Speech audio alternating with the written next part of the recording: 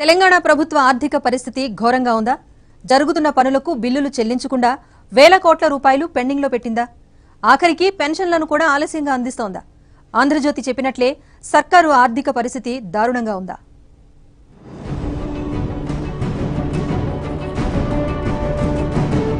వివిధ అభివృద్ధి పనులు ప్రభుత్వ శాఖలకు సంబంధించి రాష్ట్రంలో దాదాపు లక్ష బిల్లులు పెండింగ్లో ఉన్నాయి. ఇరవై వేల కోట్ల రూపాయలకు పైగా బకాయిలు చెల్లించాల్సి ఉంది. ఈసారి ఈ విషయాన్ని రాష్ట్ర ప్రభుత్వమే అధికారికంగా అంగీకరించింది. పెండింగ్ బకాయిల వివరాలు తెలపాలంటూ సమాచార హక్కు చట్టం కార్యకర్త జి. శ్రీనివాసరావు చేసిన దరఖాస్తుకు ప్రభుత్వం ఈ మేరకు సమాధానం ఇచ్చింది. ఆర్థిక సంక్షోభంతో రాష్ట్రంలో పెండింగ్ బిల్లులకు మోక్షం లభించడం లేదు. ఆర్థిక సంవత్సరం ముగింపు దశకు వస్తున్నా ప్రభుత్వం బిల్లులను క్లియర్ చేయలేకపోతుంది. ఇంకా చెప్పాలంటే ప్రభుత్వ ప్రాధాన్య కార్యక్రమాలైన కళ్యాణ లక్ష్మి రైతు బంధు వంటి సంక్షేమ పథకాలకు నిధుల మంజూరు లేదు. ఖరీఫ్ రబీ సీజన్లకు సంబంధించి దాదాపు మూడు వేల కోట్ల వరకు రైతు బంధు బకాయిలు పేరుకుపోయిన విషయం తెలిసిందే. అలాగే మూడు లక్షల వరకు కళ్యాణ లక్ష్మి షాదీ ముబారక్ దరఖాస్తులు పెండింగ్లో ఉన్నాయని కథనాలు వచ్చాయి. పరిశ్రమలకు రాయితీల కింద పదిహేను వందల కోట్ల రూపాయలు చెల్లించాల్సి ఉంది.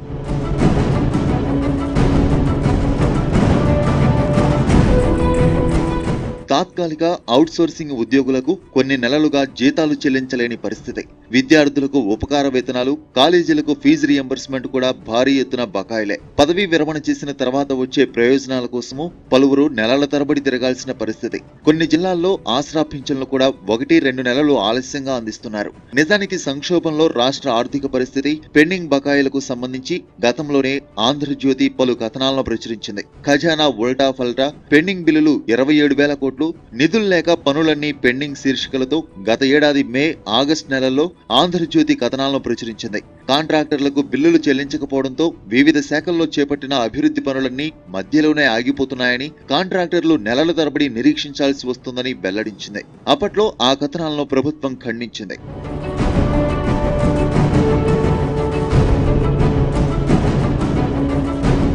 అప్పట్లో ఆర్థిక శాఖ ముఖ్య కార్యదర్శి రామకృష్ణారావు విలేకరుల సమావేశం నిర్వహించి మరీ ఖండించారు. పెండింగ్ బిల్లులు అంతగా లేవని చెప్పారు. ఆంధ్రజ్యోతి ప్రచురించిన కథనాలు నిజమేనని ఇప్పుడు తేలింది. ఇరవై వేల కోట్లకు పైగా పెండింగ్ బిల్లులు ఉన్నట్లు ప్రభుత్వమే స్వయంగా ఒప్పుకుంది. వివిధ శాఖల్లో కాంట్రాక్టర్లకు ప్రభుత్వంలో ఉద్యోగులకు చెల్లించాల్సిన బకాయిలను వెల్లడించింది.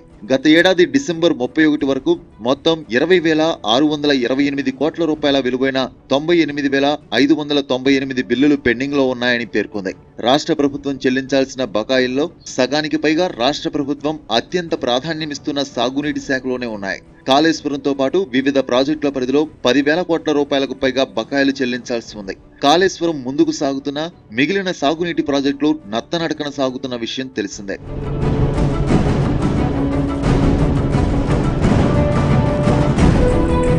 మిషన్ భగీరథ కాంట్రాక్టర్లకు కూడా పెద్ద ఎత్తున బకాయిలను చెల్లించాల్సి ఉంది. బిల్లులు ఇవ్వకపోవడంతో కాంట్రాక్టర్లు కొన్ని చోట్ల భగీరథ పనులను ఎక్కడికక్కడే నిలిపివేశారు. కొన్ని జిల్లాల్లో ట్యాంకులు పైప్ లైన్ల పనులు కూడా మధ్యలోనే ఆపేశారు. బకాయిల్లో తర్వాతి స్థానంలో రహదారులు భవనాల శాఖ ఉంది. రహదారుల మరమ్మతులు కొత్త రోడ్ల నిర్మాణానికి ప్రభుత్వం గతంలో కొంతమేర నిధులు విడుదల చేసింది. కానీ చేపట్టిన పనులకు అవి ఏమాత్రం సరిపోలేదు. రాష్ట్ర వ్యాప్తంగా ఈ శాఖలో మొత్తం వెయ్యి నూట ఇరవై ఏడు కోట్లకు సంబంధించి రెండు వేల ఏడు వందల యాభై ఏడు బిల్లులు చెల్లించాల్సి ఉంది. పంచాయతీరాజ్ శాఖ పరిధిలో మొత్తం వెయ్యి ఏడు వందల పద్దెనిమిది బిల్లులు పెండింగ్లో ఉండగా వీటి విలువ ఏడు వందల తొంభై రెండు కోట్ల రూపాయలు. భారీగా పేరుకుపోయిన బకాయిల కారణంగానే కొత్త రోడ్లకు అనుమతులు ఇవ్వడం లేదని ఇప్పటికే చేపట్టిన కొన్ని పనులను కూడా కాంట్రాక్టర్లు మధ్యలోనే నిలిపివేశారని ప్రభుత్వ వర్గాలు చెబుతున్నాయి. రుణమాఫీ నిరుద్యోగ భృతి వంటి కొత్త హామీల అమలుకు నిధుల కటకటే కారణమని ప్రభుత్వ వర్గాలు వివరిస్తున్నాయి.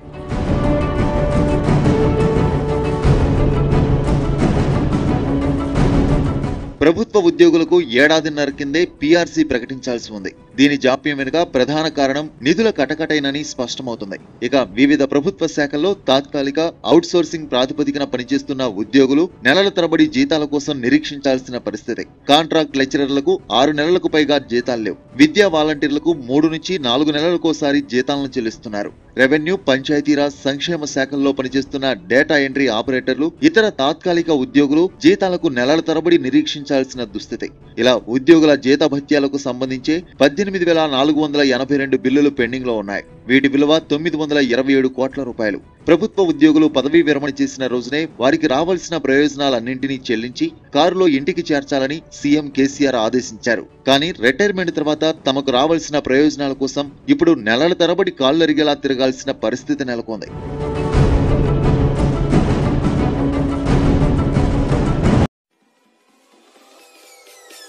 Peace.